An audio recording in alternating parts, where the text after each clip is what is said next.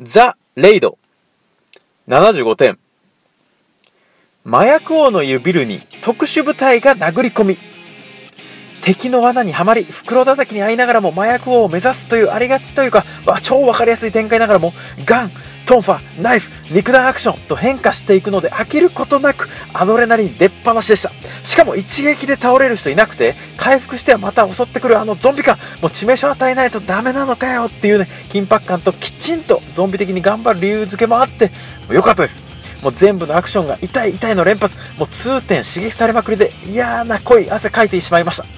なんですけど、まあ、建物内が暗いので、人物あんまりよく見えなくて、まあ、中盤ちょっと、あの、キャラの整頓できなくて、え混乱してしまった部分がストーリー的にありました。もうちょっとキャラに個性欲しかったんですよね。まあ、メガネとか服装とかで味付けしてもよかったんではないのかなと思います。にしてもアクション本当にすごかったです。人死んでないのか心配するレベルの文字通りの死闘連発。まあ、アクション欲が溜まったらまた見たい